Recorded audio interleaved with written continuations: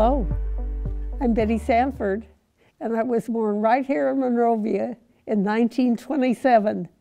And that was, I think, two years after my newlywed parents came here because they were starting a shoe store on Myrtle Avenue.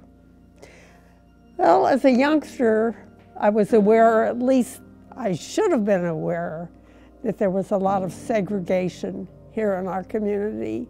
Segregation of people of color. They were segregated in the elementary school. They were segregated in the city swimming pool, which we call the plunge. And they were seg segregated in housing. And I, as a Jewish child, was expected to sing religious Christian songs in school. And I was also aware that my parents were limited in the organizations they could join in the community. But despite all this, my parents were of the generation that felt that the only way to protect themselves and their children from anti Semitism was to fit in. And so we went about fitting in. We didn't know anything about bigotry, anti Semitism, segregation. We didn't talk about it. We didn't think about it.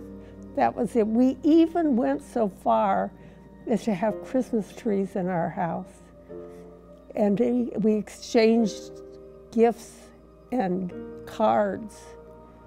But despite all of this fitting in that my parents did, things didn't always go well for us. I had become aware that, that boys who were my playmates, who I'd known for years, who were my best friends, suddenly weren't speaking to me. And I also became aware that there were organizations and activities that went on in the high school that I wasn't supposed to be involved in. And I was, I was hurt. I didn't understand this. And as a teenager, I made it internal. I figured that I had done something terrible. That was the only reason that people would behave to me like that. Well, even though I didn't understand it, my parents did. And as soon as they were able, they moved us to Los Angeles. And they drove back and forth every day to the shoe store to keep that, that running. Well, fortunately, it worked. It was okay to be, for me to be a pretty Jewish teenager. I finished high school. I joined a sorority. I went on through college and danced and dated and did all those good things. And I eventually married a very special young man. Well, my dad had sold a shoe store at that time and was had just purchased a real estate office and asked my husband to come into the real estate business with him. So we moved to Monrovia, we started raising a family, and despite the fact that I really knew in our South there was Jim Crow and lynching, and I also really knew, really knew that one third of the whole world's Jewish population had been tortured and killed in Europe. Nevertheless, I went back to raising my kids the same way I'd been raised. Let's fit in. A couple of things happened that really changed me. And one was I attended a meeting of the coordinating council. This was the first coordinating council way back when. I attended that meeting and the speaker was the black chairman of the Los Angeles County Human Relations Committee. He was a good speaker and he made his point. and his point was that if you really care about bigotry, prejudice, anti Semitism, segregation, then you better start looking at your own community. That's the first place to look. So somehow I understood that message. And so did the very remarkable Allie Romney, who was the principal of our one segregated black school. And she and I and a few others got together and we started looking into what problems we might have in Monrovia and started to think about a way to solve them. The next thing that happened was far less pleasant. My father was attacked, frankly, by the whole community because a man who was working for him, a salesman in the real estate office, had sold a house in what was considered a white neighborhood to a black family. I'll tell you, all hell broke loose. It was, it was terrible. And for the first time, I realized how some Monrovians, maybe many Monrovians, felt about both blacks and Jews. And my father's response to this rejection by the community that he, he loved and had worked so hard for was to attempt suicide. Well, we changed. The family, this, these two incidents turned the, black, the Sanford family into activists. And we became we began to fight bigotry and segregation in every aspect. It was the 60s by then, and Jules and I became involved in several groups, several biracial groups, that were fighting against bigotry and we were fighting for integration in the schools and in the city government. Our children some of our children got involved too.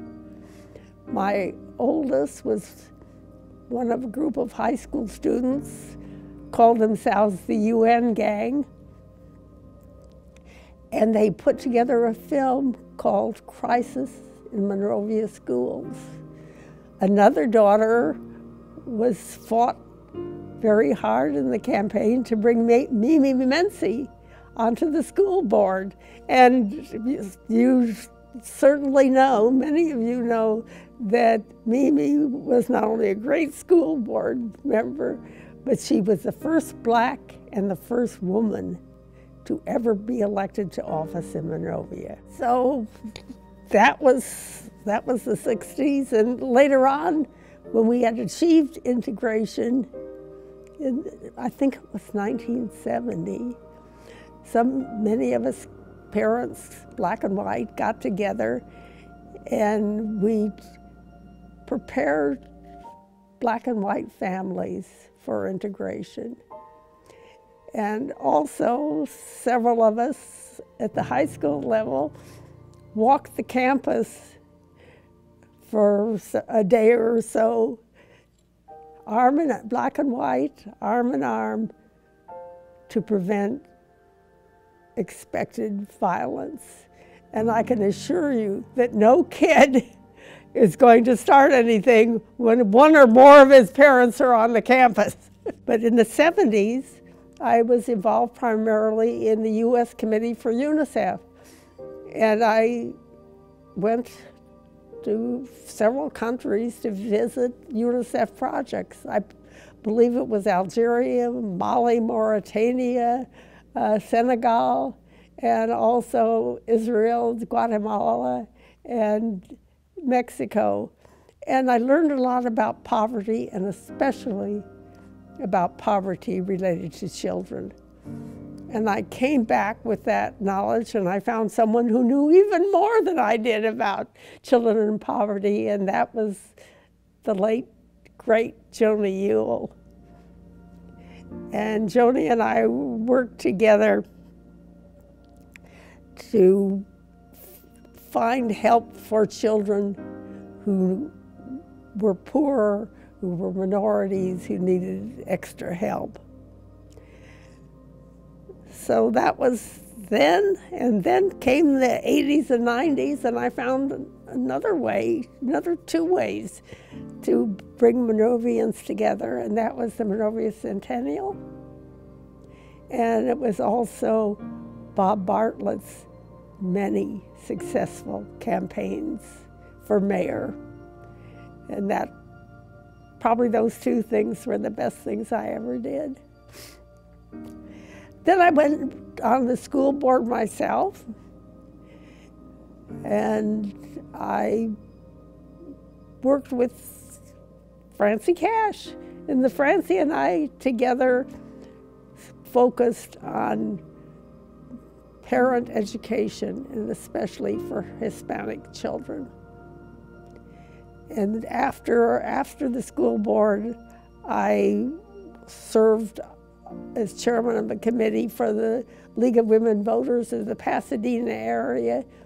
Uh, we worked on dropout prevention, and my advisor on that project, my helper and advisor was another great American, Ulysses Gutierrez. Today, I work with multi-ethnic and multi-religious I work with a multi-ethnic and multi-religious group of Monrovians who, can, who are concerned about increasing harmony and cooperation among all of our community.